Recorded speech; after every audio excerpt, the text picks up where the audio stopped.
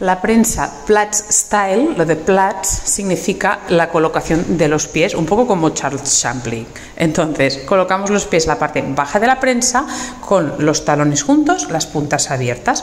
Y a partir de ahí lo hacemos normalmente, descendiendo hasta que no se nos despegue el lumbar del banco.